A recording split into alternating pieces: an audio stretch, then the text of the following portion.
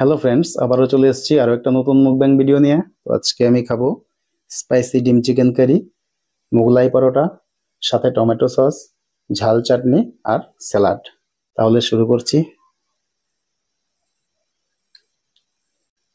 First bite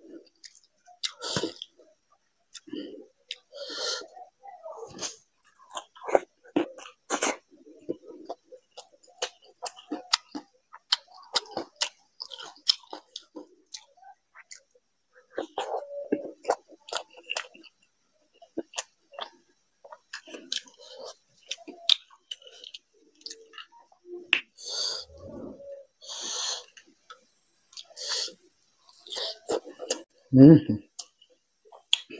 দারুণ। চাটনিটা তো বেশ দারুণ।